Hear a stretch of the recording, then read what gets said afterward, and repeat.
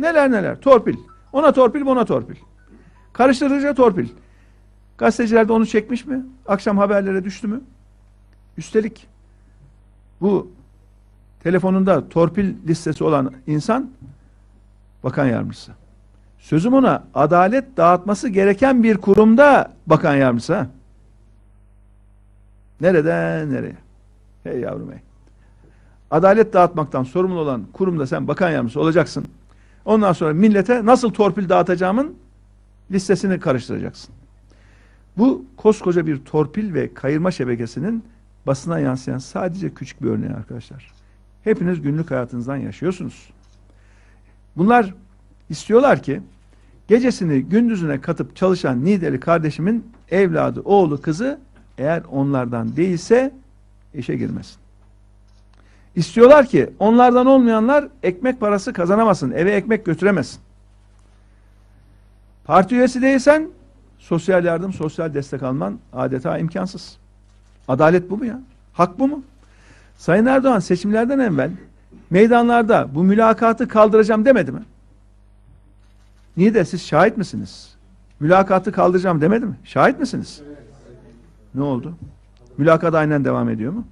Yine kayırmacılık devam ediyor mu? İşine geleni kendilerinden gördüklerini işe alıp kendilerinden görmediklerini kapının önünde bırakmıyorlar mı bunlar? Hak diyordu. Davamızın pusulası adalettir diyordu. Nereden nereye? Seçimden önce söz verdi, sonra yapmadı.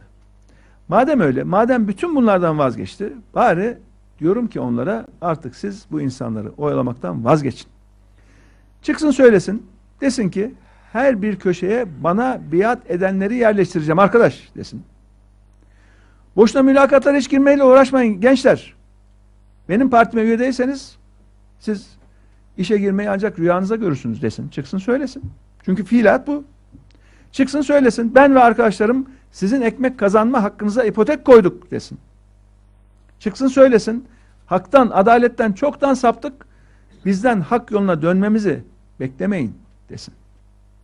Desin de cümle alem bilsin. Bakın arkadaşlar. Adalet Bakanı'nın makam duvarında bir zamanlar şu şiir dizesi yazılıydı.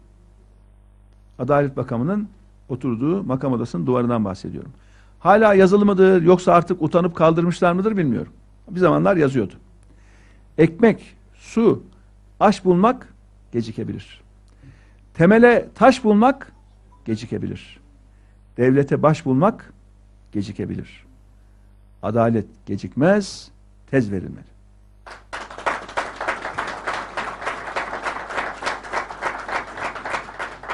Hala yazılıdır bilmem. Ama Adalet Bakanları onu her gün makam odasına girerken çıkarken okurdu. Değerli arkadaşlar, yerel seçim takviminin hızla işlemeye başladığı günlerde sizlerle beraberiz. Ve biz demokrasiyi yerelden başlatacağız inşallah. Ve seçimlere her şeyle hazırız. Herkesten önce, tam bundan iki sene önce, yerel yönetimler ve şehircilikle ilgili biz eylem planımızı açıkladık. Bütün detaylarıyla yazdık. Bizim belediyelerimiz şunları, şunları, şunları yapacak dedik. Takvime bağladık. Ayrıca yine ne yaptık? Türkiye'de hiçbir siyasi partinin yapmadığı bir işi yaptık. Belediye başkan adaylarımız için bir etik kurallar bildirgesi yani ahlaki kurallar bildirgesi hazırladık. Tam üç sayfalık bildirge. Bunu bizim adaylarımız okuyorlar, altına imza ediyorlar, ondan sonra adayımız oluyorlar. Yani diyorlar ki ben belediye başkanı seçildikten sonra belediyeyi bu ahlaki kurallar çerçevesinde yöneteceğim diyorlar. Kimseye iltimas yapmayacağım diyorlar. Torpil kayırmacılık yapmayacağım diyorlar. Ve temiz belediyecilik anlayışıyla bu belediyeyi yöneteceğim diyorlar. Bizim belediyelerimiz değerli arkadaşlar ne diyecekler? Biz çok çalışırız diyecekler. Yetmez ama aynı zamanda temiz, tertemiz çalışırız diyecekler. Belediyenin tüm kaynaklarını Niğde sokaklarına, mahallelerine, Niğdeli vatandaşlarının dertlerine çözüm bulmak için harcayacak bizim belediye başkanımız. Niğde'nin parası Niğde'ye akacak. Ankara'nın karanlık dehlizlerine akmayacak. Niğde ibadethaneleriyle, kaleleriyle, kuleleriyle, müzeleriyle harikulade bir şehrimiz. Niğde için büyük bir turizm fırsatı var ama bu fırsat hala kullanılmış değil. Niğde hakkını alacak. Arkadaşlar bu ülkede herkes yetecek kaynak kaynak sahip olabilir ve bu ülke büyük ve güzel bir ülkedir. Yeter ki ülkenin varlıklarını adil bir şekilde paylaşalım. Yeter ki bu ülkenin varlıkları bir avuç zaten parası olanın kesesine, banka para kasasına, banka hesabına akmasın. Bunu en iyi NİDE biliyor, NİDE'ler biliyor. Bu yüzden bir çalışacaksak iki, iki çalışacaksak dört çalışacağız. Çözümü söyledik. Çözüm devade dedik. Buradan kurtulmak bize kaldı. İş başa düştü dedik. Bu yüzden devalı kardeşlerim, arkadaşlarım kapı kapı dolaşacağız. Gördüğümüz herkese deva belediyeciliğini anlatacağız.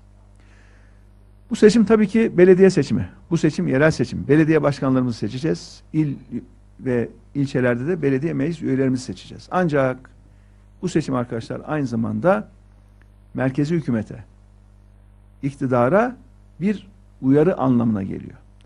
Eğer merkezi hükümetten memnun değilseniz, merkezi hükümet, iktidar yanlışlar yapıyorsa bu seçimde iktidarı değiştirmek söz konusu değil.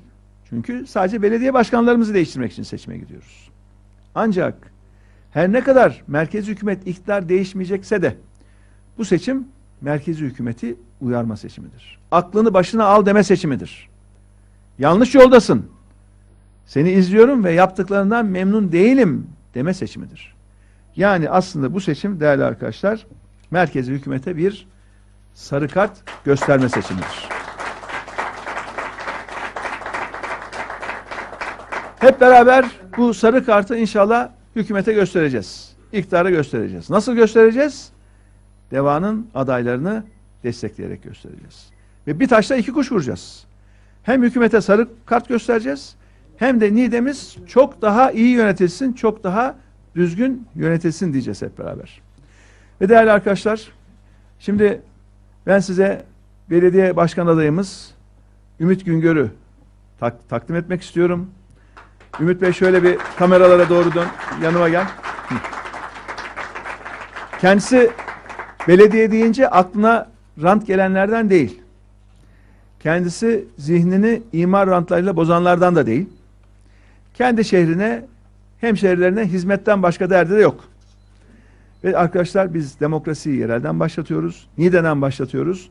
Niğde 31 Mart'ta mührü inşallah devaya basacak ve inşallah Ümit Göngör'ü burada Niğde Belediye Başkanı yapacak. Ben buna inanıyorum ve Ümit Güngör de Türkiye'ye deva belediyeciliğini buradan Niğde'den gösterecek.